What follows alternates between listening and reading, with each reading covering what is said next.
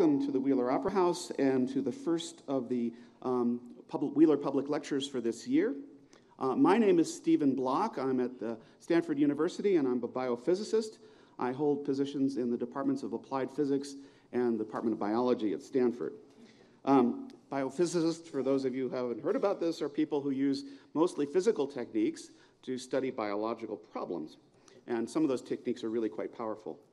Um, this week, assembled at the Aspen Center for Physics, right out near the Meadows, um, we're holding something called Single Molecule Biophysics 2015. This is, in fact, our eighth biennial meeting, so this has been going on for 16 years. Uh, the Aspen Winter Physics Conferences themselves have been, are now in their 30th year. Uh, that series was actually founded by my father in 1980, uh, Martin Block back in 1985. And um, it's my pleasure with Tom Perkins, who's seated, seated here in the front row, uh, to run uh, the Single Molecule Biophysics co- Conference for this week. And so, assembled from all over the globe are about 100 biophysicists here for this very exciting conference. It's absolutely my favorite meeting of all. That's because I get to help design it and it, make it the way we like. And the way we like is to have lots of hours in the middle of the day to go off and ski highlands in Ajax. So if you're out there today, it was epic, you know. All right, uh, but we get we we're up late at night discussing science, and we we talk about it on the lift on the way up, and we talk about it over lunch and on the way down. Um, and we talk about what's called single molecule biophysics. You can ask, well, what the heck is that? It's, it's actually an exciting and relatively new field of, of biology um, in which advanced optical methods uh, are used to study individual biological molecules, literally one at a time. In the past, if you were a biochemist, you did something in a test tube and you had, you know, gazillions of molecules there, way in excess of a trillion, and you measured their average properties. But average properties can be very misleading. You know, imagine some alien race came down to the planet uh, to observe humans. And they wanted to know what the humanoid form is like. So they sucked up into their device several humans, absconded with them, uh, and measured average properties. And they went back to their planet. and said, what are humans like? Well, humans basically, they, you know, they've got one head, they got two arms and two legs, and they have one ovary and one testicle, which is true on average. Um, so, this is why it's very important to be able to look at things individually, and you can learn a lot more. Uh, one of the things that we study a lot in biology are enzymes. Most of you know what enzymes are. These are proteins, and they're very specific proteins. They're proteins that can carry out chemical reactions. They carry out the reactions of life, uh, including, you know, for example, making DNA and making more of us and, and uh, making us move and making us ski and everything else. And uh, so now comes the biology quiz for all of you. Raise your hand if you've ever heard of ATP. Wow, good, that's great. ATP is adenosine triphosphate. It's a little fuel molecule, and it's used in biology for just about everything. It's the thing that powers a lot of enzymes. It's the thing that powers the synthesis of DNA. It's the thing that powers your muscles when they contract. It powers or, or fuels the synapses in your brain as you think and as you're hearing to me. And, and, and there is a very special enzyme in your body that makes most of your ATP. Some of it comes from just burning sugar, but most of it comes from this particular enzyme. It's the most remarkable enzyme, in my opinion, in all of biology. And today's speaker is one of the world's experts on this. He's going to tell you about this amazing enzyme. Um, but uh, just a bit of history before we get him up, because he's too modest to tell you all this story, but I'm not. Um, he's so modest, in fact, that if you've read the little blurb here, um, um, it, it, it's, it's written in a very Japanese way, but you can, you can detect his modesty, but also his trenchant sense of humor. So I encourage this as obligatory reading to every one of you. Um, uh, the, um, the story I wanted to tell you was a little bit about this enzyme. The enzyme's been known for a very long time.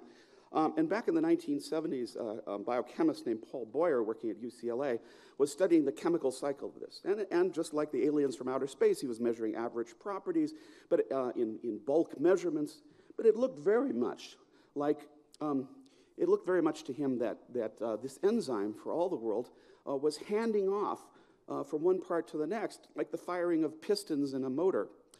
And, you know, they say chance favors the prepared mind. Back in the 70s, another biologist named Howard Berg had worked out that the, the flagella on bacteria, which cause them to swim, actually spin.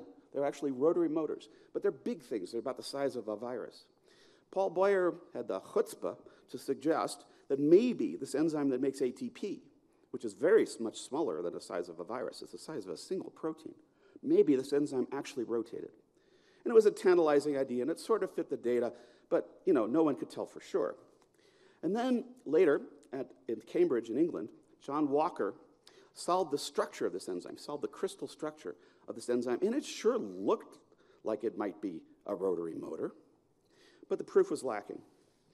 And then came Kazuhiko Kinosita Jr., our speaker tonight. He did a truly remarkable experiment in, on, back in around 1996 and 7, in, in which he's going to tell you about tonight. Uh, and they say seeing is believing. And he created an experiment in which you, you could actually watch this tiny, tiny little enzyme at the single molecule level turn and spin round and round. Um, he presented that to a packed room at the Biophysical Society meeting that year. I was there, I was fortunate enough to be in the audience. They were streaming out the door, the lights were down, the stage went up, and Kazu showed us all these remarkable films. Uh, it was a thing of beauty.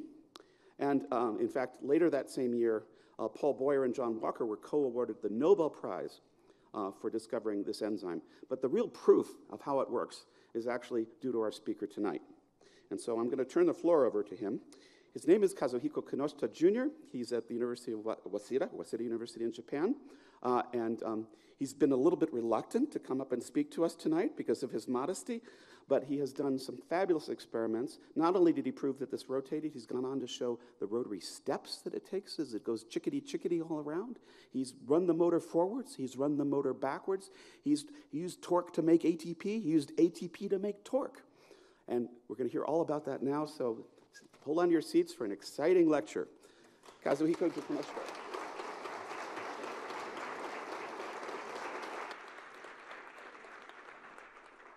Thank you very much, Steve. You have done most of my talk, so I'm, I'm already done. but listening to the same thing twice may help you understand better, so I will speak a little bit. But the first thing I want to say is that the, I apologize that I'm not wearing a tie. I'm not a formal authoritative person, so I invite you to listen to my talk with doubts. So doubting is the basis of science. So never believe, never trust, particularly never trust upon me. That's how you understand things. And the, I know that Steve eats. I, I presume he also breathes. This I, am not very sure because we've never been in the kissing distance. so I, I simply assume that he breathed.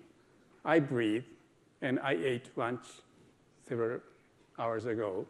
So why do we eat and why do we breathe? And that's the topic of tonight. And before I start, I, I want to summarize what I'm going to show, uh, tell, but Steve has already done this, so it may not be necessary. We eat and breathe to rotate tiny engines in our body to let them make ATP. ATP is a fuel for molecular machines in our body that sustain all activities like skiing, running, thinking. And this is the first part of my talk. And in the second part, I will talk about the performance, beautiful, marvelous performance of the rotary engine with the name F1. So this is the second part. And so once you understand this summary, you can ignore what I'm going to tell you in the next 10 slides or so. Probably you know, you may know you're a heater of 100 watt. And that's why if you pack five people in a small tent, you do not need a stove. In Aspen in winter, you may need 20 people, but then that's sufficient to, to be uh, happily warm. And I was told that I should never present an equation like this in my presentation, but I will show you, well, several equations, uh, just because th there are, I hope, some of you who want to confirm my calculations to convince yourself. And those few, or possibly those many, are invited to become a scientist. And others just ignore such equations that are in shade. But the, if you do this, these calculations, 100 watt is equivalent to 2,000 kilocalories per day. And this number, 2,000 kilocalories, is the average food, no, no, is the amount of food an average Japanese eats a day. American people may eat slightly more, but probably not 3,000. And so with kilocalories is a unit to measure the amount of food. And the, but actually it's the unit of energy. And this, you may know that how this number comes. You, you have a food for, for one day, and you bring it to a laboratory, and you literally burn it. Then you get this much heat. That's how you get this number. And the the fact that this number equals this number means that you burn the food you eat uh, with oxygen you inhale. You know that to burn something, you need oxygen. And that's why you inhale, inhale oxygen to burn the food you ingest. And I, I say almost here because some of you may wish to keep aside some food for your belly, and those people eat more than this limit. so it seems that we eat and breathe just to warm the globe. Is it true? Probably it is. But I'm going to say that heat is an end result. And although I said that we burn the food in our body, we do so very slowly so as not to produce heat immediately. Instead of producing heat, uh, we produce ATP, which is a chemical, uh, which is the fuel molecule for most biological activities. And this is the ATP, a small molecule made of tens of atoms. And you don't remember its full name, just ATP. And this ATP supplies energy for all of your activities like running and thinking and digesting. You may think, why do you consume energy for thinking? When you think, electrical currents run in your flow in your brain. And so after you think, you have to recharge small batteries in, in your brain. So your brain consumes a lot of energy when you think. So don't think too much. But the, so the summary of this slide is that food and oxygen makes ATP, and that fuels your activities. Why do I say your activities? Uh, well, this is a summary, and I'm, I'm going to make a supplementary comment. All these activity eventually end up in heat, because after you run for a long distance, you do not change the globe in any way. You just enjoy jogging or running. So you consume the energy from ATP just to enjoy your life through these activities. From the point of view of the globe, you are nothing but a heater.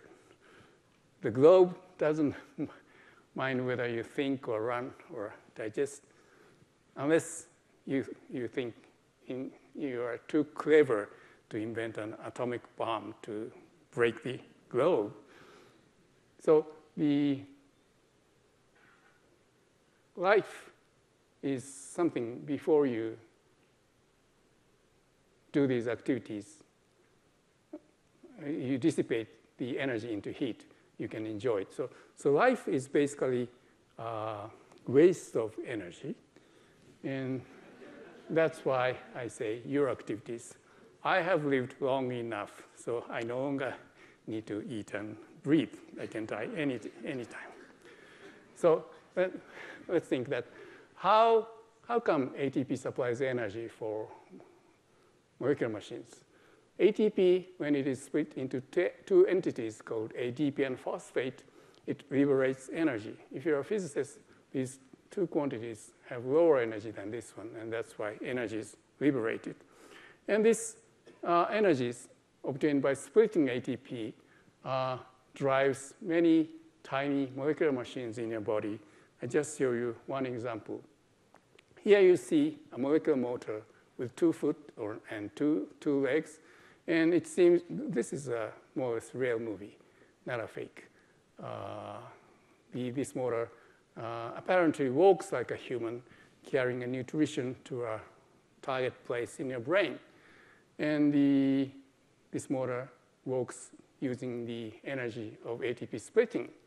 And this is a very small, this is a, a, single molecule of a protein, and it's very small. It's only 25 nanometers. Nano means one billionth, and the, that nano simply means very, very small. And for American people, I, I changed it to a millionth of an inch. In Japan, I would say millimeters or centimeters. But it's actually one four thousandth of your hair thickness. So you see that this, this is very small, and you have many such motors in your brain or in your body. And that's how this ATP energy is used. And because the splitting liberates ATP, if you are to make ATP by joining these two things, you have to put in energy. And this energy comes from the oxidation or burning of the food with oxygen. And the, the point is, you don't make ATP from scratch. Instead, you recycle ATP in your body. In every place in your body, you're very wise to do this. And uh, so just joining ATP, and the molecule, all other molecular machine, machines split ATP into these two. And the, there is another molecular machine that combines these two to recycle it into ATP. And that's how we do that. And inside our body, there's this rotary engine that do, do this job. And you may be able to see that this is, I have to stress that this is not a real movie. This is just some animation. I'm going to show you, show you a real rotation. But the, uh, somehow, by rotation, uh, these things combine phosphate in white, ADP in green, into ATP. So, and this is also very small machines comparable to the two-foot motor. And there are many such rotary engines in your body. Now, uh, each of you synthesize body weight of ATP per day. So that's, that's why you never want to eat ATP instead of eating heavy food and breathing a lot. And ATP, by the way, is not at all tasty.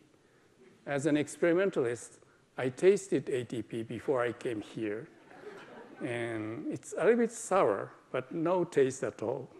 And I never want to eat 60 kilograms of ATP each day. And of course, uh, you expend the same amount of ATP, the body weight of ATP per day, and that's done by various molecular machines. And you have 10 times billion times billion such rotary engines from head to foot. And that's for recycling. You, you don't want to distribute ATP from your stomach to, to the long distance toward the head or foot. In every place in your body, you recycle ATP, and therefore, every part of your body must contain these rotary engines, many, many of them. And the, it's not only human. All animals, all plants, and some bacteria all rely on this rotary ATP synthesis. And so this is, I guess, the summary of my first part uh, we eat and breathe to rotate the tiny engines to let them make ATP. And what we actually rotate is this upper part called FO. You will soon forget, forget this name. And it rotates in this direction. But the ATP is synthesized in the lower part called F1. This is not F0, but FO for a historical, historical reason. And this this rotating part is, is connected to this rotary shaft of this F1 motor, which is shown in light blue. And because FO rotates in this direction, F1, the shaft of F1 is also rotated in this direction. And then ATP is synthesized somewhere around here or, or there. But we can, we can take out this F1 portion from body, then it rotates in the other direction, in this direction. And in this case, it split ATP to get energy to rotate this central shaft. So in the rest of my talk, I will concentrate on this F1 portion. I'm going to show that this is a marvelous rotary motor. And this is the structure of F1 motor in isolation. There are seven parts, but the central parts in orange penetrates the outer cylinder, as you may have seen. And this is the rotary shaft called gamma. And there are three alphas in, in blue, and then there are three betas. And when this central rotor is rotated, forcibly rotated by a four in this direction, uh, ADP and phosphate is joined by the, these three betas to make ATP. This is what happens in your body. But when we take this out, uh, beta can no longer make ATP, but if it is given ATP, it can split it into ADP and phosphate, and it can obtain energy from this reaction. And then the gamma rotates in this direction. You may know that the man-made electrical motor, if it's forcibly rotated, becomes a generator. So if you pass a current through an electrical motor, uh, it rotates, consuming the electrical energy dissipating the electrical energy. It's not dissipating, so using the electrical energy.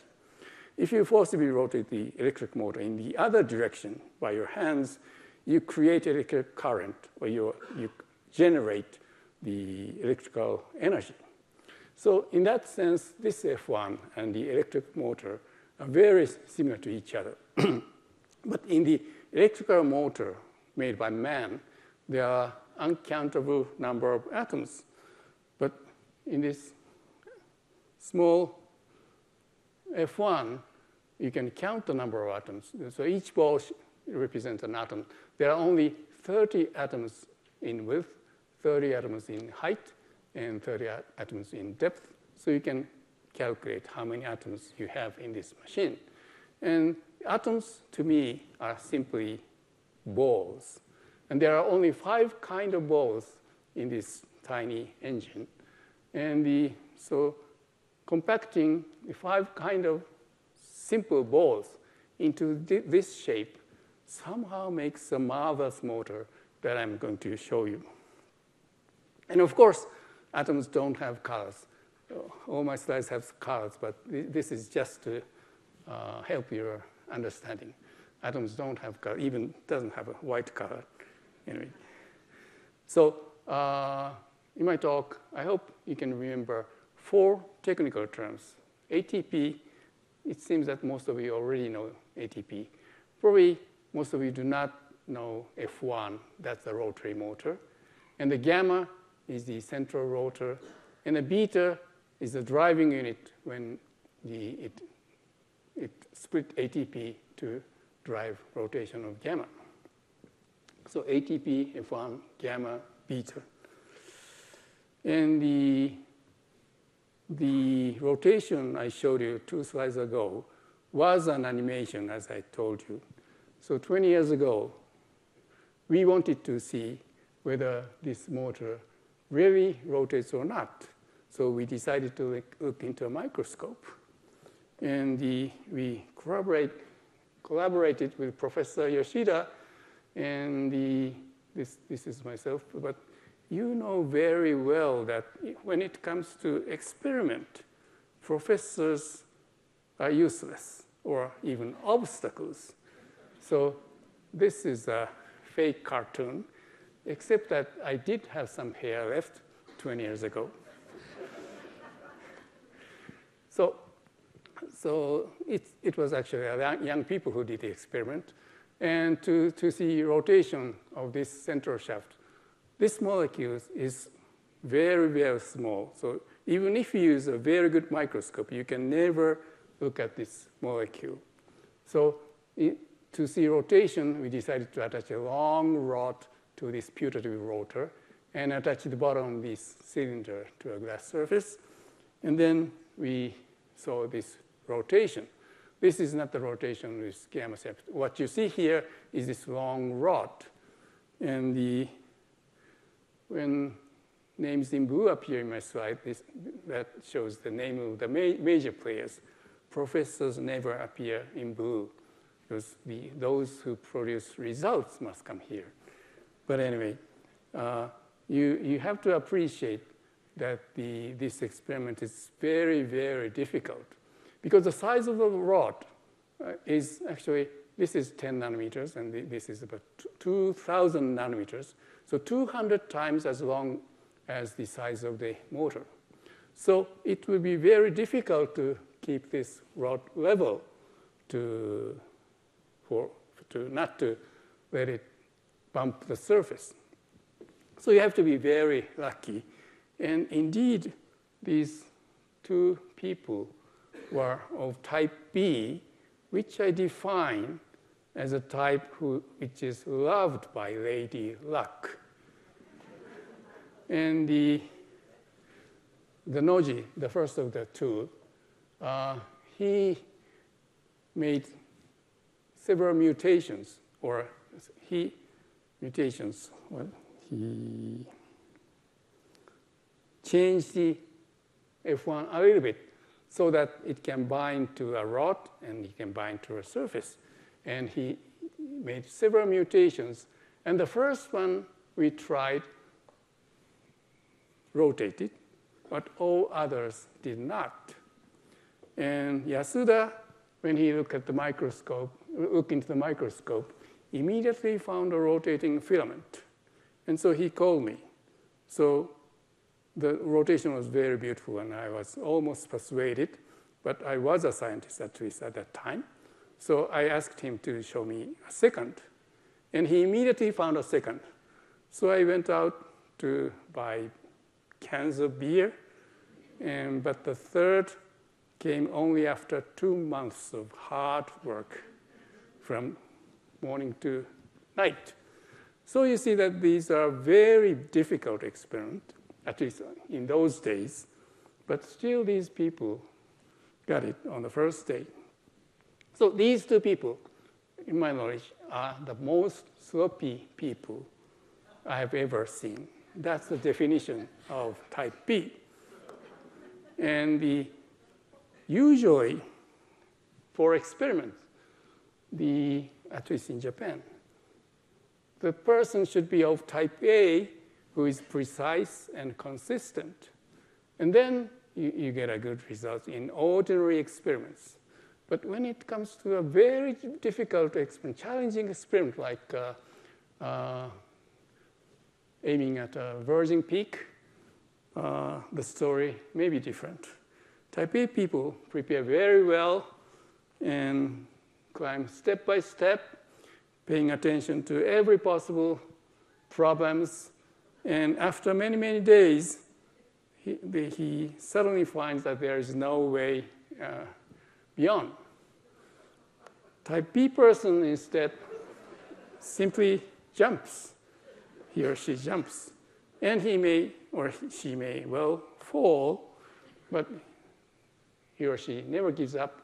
And he jumps again from a different point. This is a point. You, you have to jump from a different point, and he never cares about possible failure or possible danger.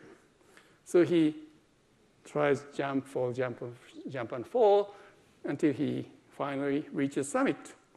So this is the kind of person Lady Luck loves. And uh, there are also two other types. Type O, uh, these people are good in finger skills. And type AB is very tenacious, sticking to his or her own principle. And of course, uh, in the past two slides, I'm not talking about science. Uh, this is just uh, my personal statistics made on a sample of less than 100. So don't, you, you don't have to believe in me. But when I hire a post, postdoctoral fellow, the first question I ask is, what is your type? Uh, now, with a long rod, we can observe rotation. And the, here you see this rod rotates around its, its middle. And this is important because if you hold an end of a long rod, you can make this fake rotation. I say this is fake because this, I'm just twisting my wrist. If you hold a long rod, this is not so long, but suppose this is longer than my height, then you can still twist it up to a certain point. But then after that, you yourself have to rotate this way. And so this movie, Propel Motion, is a proof that the, the central gamma really rotates in, against the surrounding cylinder for many, many turns. And if, you, if two people hold the wrong rod simultaneously, of course you cannot make a continuous rotation. So this is a proof that the, uh, the thing that rotates this rod is a single molecule, not a two. Although we don't see the molecule, but we are pretty sure that this is a single molecule. And you notice that in all cases, the rod rotates in the counterclockwise rotation. And in most cases, the rod rotates uh, at one end. And the, the, these rotations you see here all takes place in water. All protein machines or molecular machines work in water because 80% of your body is water. So uh, these rods rotate in water and suffering from the viscous friction. Suppose you are uh, this F1 motor. Then this rod you see here is 1,000 meters or half a mile or so. This is about 500 meters.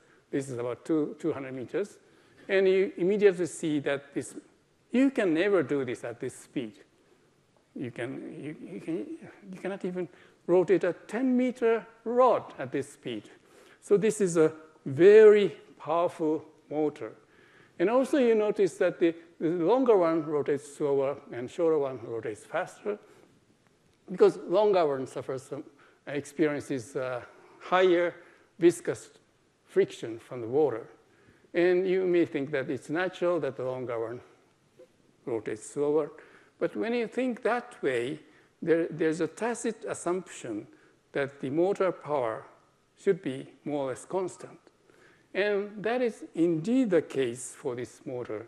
And the, irrespective of the rotary speed, this motor produces the same force. If you buy a car, an expensive car have this constant force characteristics. So this is a, a very uh, good engine. And also, if you calculate the energy conversion efficiency from ATP to this mechanical rotation, it's almost 100%. The only thing that is not satisfied, that may not satisfy you, is that the, this rotation, even this one, is not as fast as the, you would expect for your engine. That's because the, long was, the, the rod was too long, two, 200 times as long as the motor itself. But this motor, because it's strong, doesn't worry if the instead of rod, we can, we can attach a bead. If the bead size is only four times as big as the motor, you cannot do this, but the, then it rotates at this speed. And this movie has been slowed down by a factor of one, 1600. So you see that the, the full speed of this motor is very fast. And the, without going to these uh, equations, I jump to the conclusion that the rotary speed, full speed of this motor is 12, 120,000 revolutions per minute.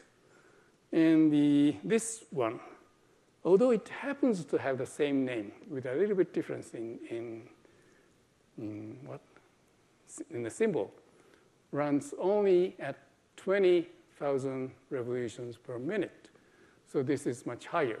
This number is the highest speed you can achieve with the most expensive electrical motor in the world. So our F1 is as good as the most expensive motor that runs only in vacuum. Our F1 runs in water. And so when you return to your car, you check this, uh, this thing. Uh, there's R per minute. This, this, this means revolutions per minute. So most of your cars has an upper limit of something like 6,000 revolutions per minute, and that is 20 times slower than the F1 in your, in your body. Now, the, the rotations I have shown you so far uh, were all continuous. And that's because we put in a lot of fuel, ATP, in the solution. If we decrease the fuel concentration, we would expect that because there are three driving units, the rotation may take place in steps of 120 degrees. And that is indeed the case that we, you see in, in this movie. It's now in 7 o'clock position and 3 o'clock position and 11 o'clock position. And here you see a funny effect. So it make a one mistake, make a back step, and then resume rotation. And you notice that the, well, it's, it's, it's, been, it's waiting for, for the field to come, it fluctuates a lot, uh, fluctuates a lot. So this graph summar, summarizes the movie you have just seen, and you can buy a stepping motor uh, from an electrical shop, and a man-made machine makes a regular step, step uh, dot, dot, dot, dot, dot. But this one, the molecular motor, works entirely in a different fashion. There's rapid three succession of three steps, long pause, two rapid steps, and a lot of fluctuation and one step. So it seems that the, well, this is the prominent feature of all molecular machines. And the molecular machines work by throw, throwing a dice. Every instant you throw a dice, and you, you say that if the number is three, you make a forward step. And otherwise, you stay. Then you get this erratic movement. And in a, in a really bad combination, if, for example, one, if you have a succession of 10 ones, then you go back. And that's the way the molecular machines work. And why is that? Why is molecular machines so erratic? The reason is that the molecular machines are surrounded by water molecules. And if you're a protein molecule or a molecular machine, water molecules surrounding you are gum bullets in size and weight. And the average speed is 1,000 kilometers per hour. That's the speed of a jumbo jet or a real gun bullet from a gun. Or at least from a Japanese policeman have a cheap gun. So that this is the speed of the the initial speed of the gun from a policeman. So you are continuously hit by the sort of real gun very, very often, and that's why uh, it fluctuates. If, of course, you are hit, hit by many water molecules, but if you are hit from this side, a little bit more molecules than this side, then you fluctuate in this direction.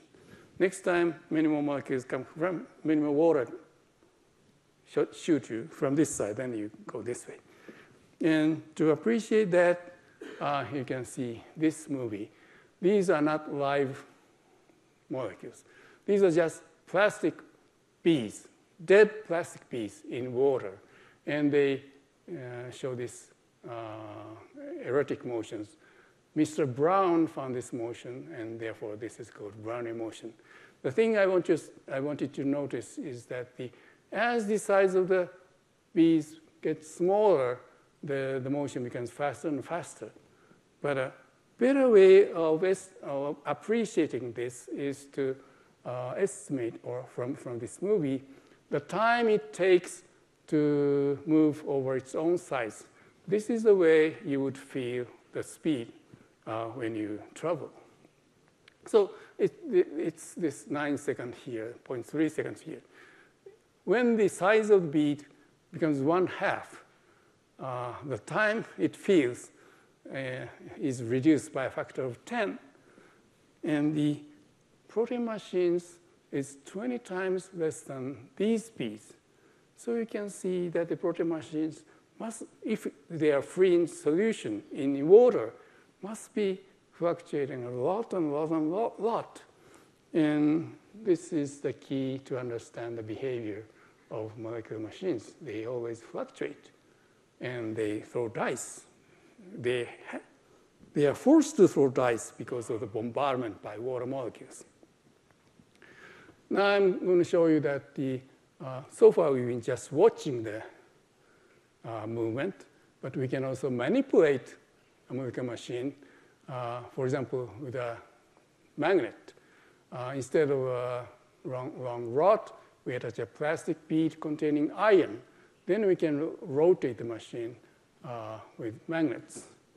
And the, this movie shows that initially it rotating on its own, but applying magnet, we can let it rotate in a regular fashion, in the opposite way, and have we, have we broken this machine? No, it can resume the uh, proper rotation. And you can do this even with a small toy magnet. If you come to my lab, I, I can let you do this with your fingers. If you rotate a small magnet with your fingers, uh, this small engine rotates according to your finger motion. Now, when it was rotating in this direction, clockwise, then it must have been uh, making ATP, and well, there was ADP and phosphate in the medium. So uh, one should able to, should be able to prove that this one indeed makes ATP. So for that, we added a firefly protein that converts ATP into light. And the, even without rotation, some light came, but when we rotated, uh, more light came. Then this is a proof that the ATP was indeed synthesized. So F1 alone, without the help of FO, if you rotate them, you get ATP. And this, I think, is the first ever in the history of human where you succeeded in chemical synthesis by applying brute force. And, but this person was unfortunately of type A, and therefore it took seven years for him to show this result. But, but anyway, so this rotary engine F1 is a reversible machine, uh, as in the case of electrical motor. So F1 alone, you don't need the other part, FO, suffices for ATP synthesis. Now, uh, you, you may wonder how rotation makes ATP. I don't have the time to give you a full explanation, so I, I give you just some hint. If you look at the structure uh, of the this motor, the, the driving subunit beta, when, when it binds ATP or ADP, the upper portion of the beta is bent toward gamma, as though it is pushing the gamma. And when it is empty, after ADP has left, it uh, pulls back, and as though pulling this gamma in this direction.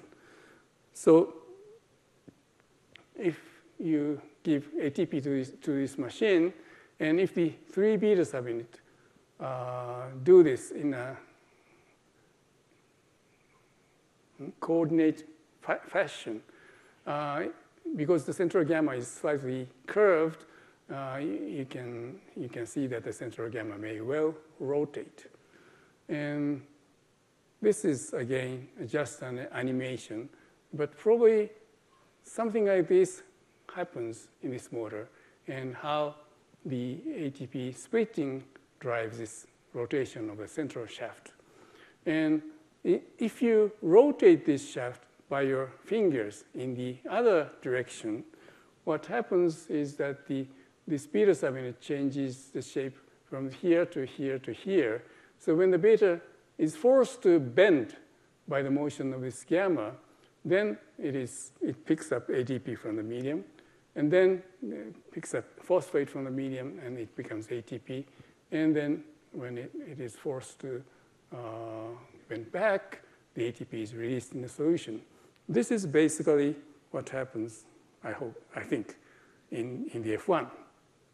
So before I finish, I want to show you uh, what we are now doing. The, uh, I said that this, this is uh, just an animation, and we want to confirm by experiment that this may well be true. And the, I cannot explain everything to you, but what we do here is that with magnets, we slowly rotate the central shaft, and we see the rotation in this panel. And at the same time, we put in solution ADP that glows. Uh, and when ADP is bound to F1, you see white things here that, that shows binding with ADP. And if you half close your eyes, you might agree that the white spot you see here are divided into, in this way. And that I show uh, with green hemicircles, as, as, as you see here. You have to watch it very carefully, and you have to trust me. That's not the way of science. You have to doubt me, but anyway. So, in this way, uh, we can uh, see the orientation of bound ADP. And because there are three beta that binds ADP, uh, when ADP binds in this beta, it must be in this direction. Then uh, if it's here, it's in this direction. If it's here, in this direction. So we can discriminate which of the three beta has bound ADP. And at the same time, we can watch this uh, motion of the bead. It fluctuates a lot because it's bombarded by water. But you may also notice that the average speed of rotation is fast in some cases and slow in other cases. The magnet is rotated at a uniform speed. So slow motion implies that the motor, the F1 motor, resists the motion of the magnet. If it's fast, it yields to the magnets. This way, we can measure the force uh, the F1 motor produces, and I don't have time to explain you the results, but we are trying to understand, fully understand how this motor works. So at the end of my talk, uh, I just show you uh, fun movies. This is another molecular machine called topoisomerase. Don't worry about the name. What it does is that the, well, the, you know that DNA is a long string. This is an exceptionally long molecule. And we can let two DNA molecules entwine each other by manipulating these beads attached to the end of the DNA. So you make one turn, and the two DNA molecules are crossed, and you simply wait. And alas, the, the one DNA pass the other without breaking the other things. So this happens in your body uh, very, very often. In this movie, movie, we have wound one DNA 30 times around the other. And then we, we simply waited. Uh, then 30 turns were resolved in a second or two. So you may wonder how this can take place. So, but don't think while you're driving. After you have come back home, you may start to think about how this may be possible in your body. So thank you very much for your attention.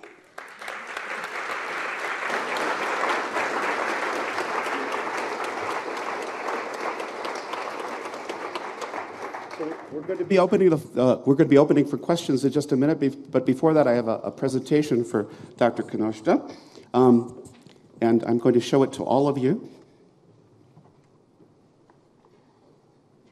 If I can lift it.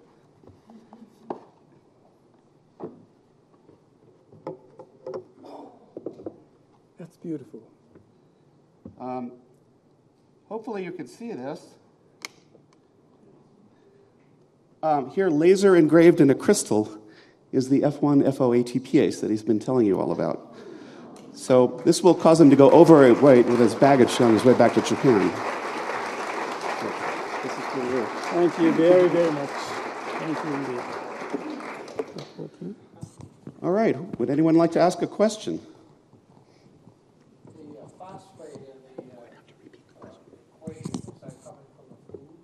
Question was, was, does the phosphate in, in this equation come from the food? What is the phosphate? Phosphate, yes, it does come from the food, but I told you that we recycle. So we don't have to eat ADP and phosphate. ATP is split, and we recombine them. But Mother Nature is so wise that she doesn't ask us to take up ATP and phosphate. It's already there.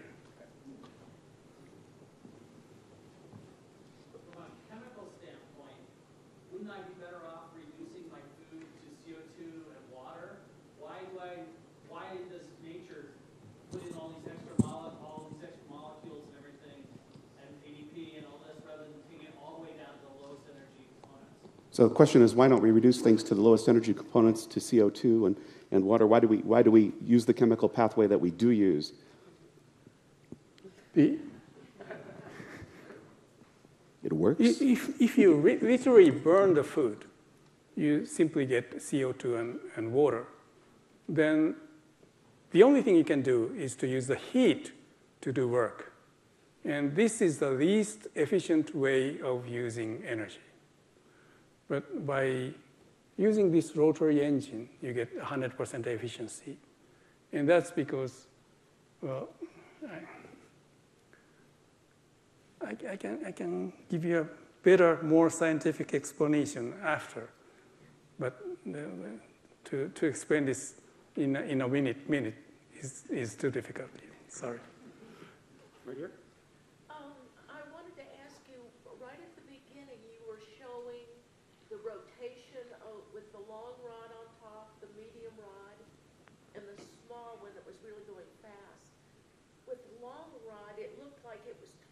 The, end, whereas you said it was supposed to be turning from the, middle.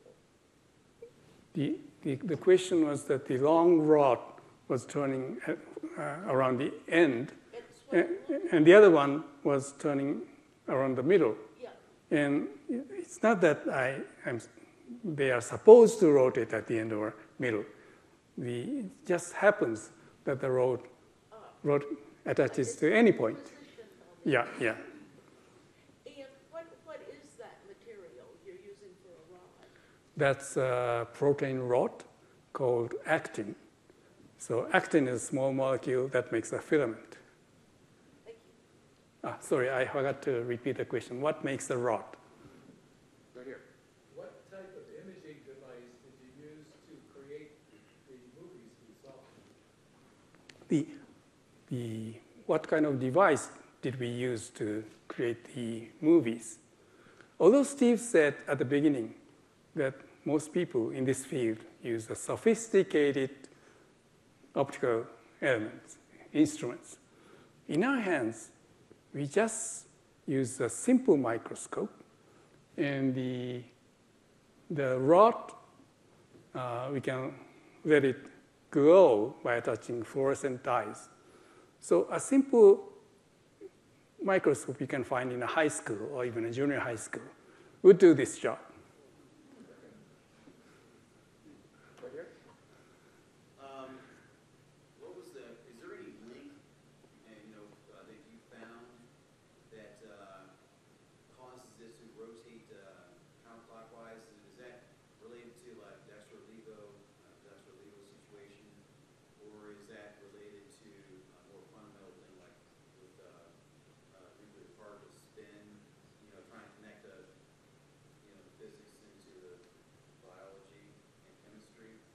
Could you repeat that for me?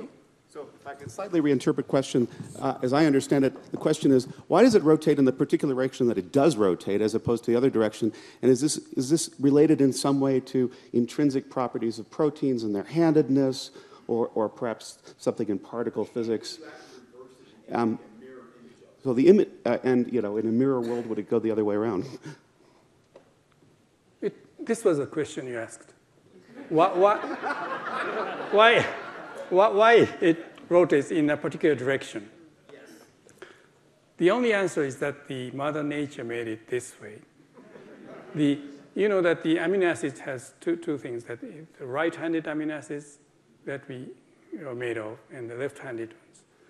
If you go to a different star, they may use a left-handed amino acids, then it may rotate in the other direction.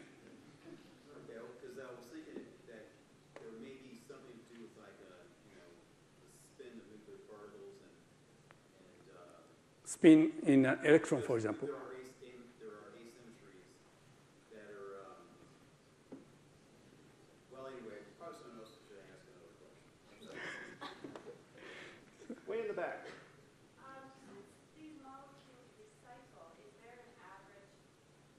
half-life, or do they break down after a certain Half-life. Uh, what's the half-life of ATP when it recycles? It's a very good question. I've never counted. Well, no, I know the answer. Uh, the, it's something like one millisecond, one thousandth of a second. A little bit more than that. Yes. So in your experiment, you showed how magnets with the manipulator change the rotation of the ATP. So in real life, would an electromagnetic field change the rotation of our ATP? Okay, the question is that we have shown that with electrical magnets, we can rotate the molecules. And the question is, if we apply magnet to our body, do we rotate the molecules? The answer is no, because we, we've been able to rotate the molecules because we attach the magnetic piece that contain iron. So, well, if you drink a lot of magnetic particles, you might be able to rotate some of your rotary engines. Even if you're in a mag- electromagnetic field, it doesn't affect the ATP rotation in our bodies. Okay, the, does electromagnetic field affect the rotation? Uh, I'm not a. So my answer is definitely no. But there are some envir- environmentalists who may say that there might be a subtle effect that I can never uh, hmm, disprove as a scientist. Question? What causes FO to to drive F1? Okay. What causes FO to drive rotation? That, that's a very good question, and I wanted to talk about this if the audience was all physicists. and it's the proton, the hydrogen ion. Do you understand proton? It's, it's just the core of the hydrogen atom. And there are lots of protons in our body. And if, when protons flow through the FO, it somehow rotates this. It's like a water wheel. And this mechanism is not yet fully understood. There are so many models, but they are just models.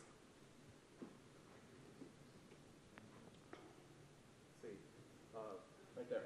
Yeah, so I- my question is, uh, athletes tend to consume many more calories than the two times that they grew up. Does that mean that they, their motors are spinning faster, or they have more of them, or what is the, what is the, how do you relate this to metabolism?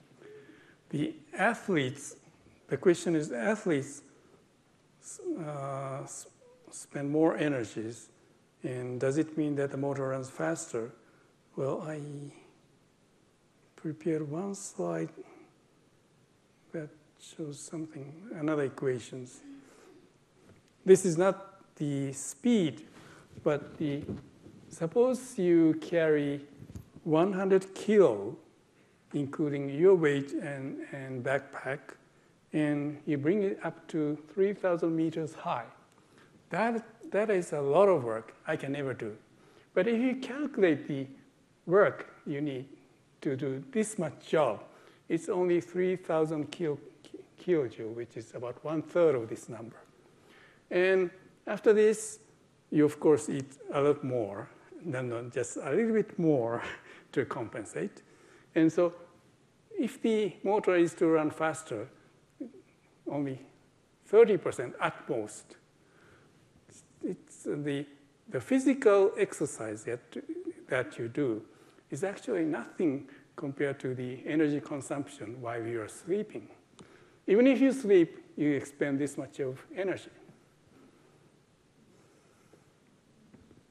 So if, uh, with that, I'd like to thank our speaker, Professor Kinosita.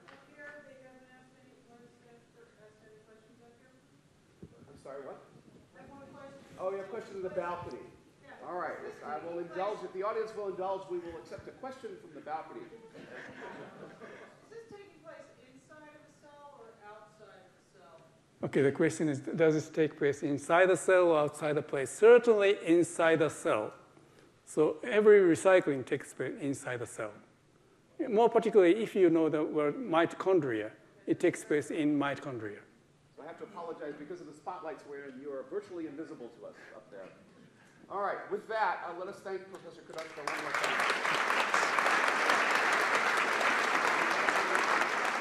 Thank you very much. Congratulations. Thank you. It was an excellent job.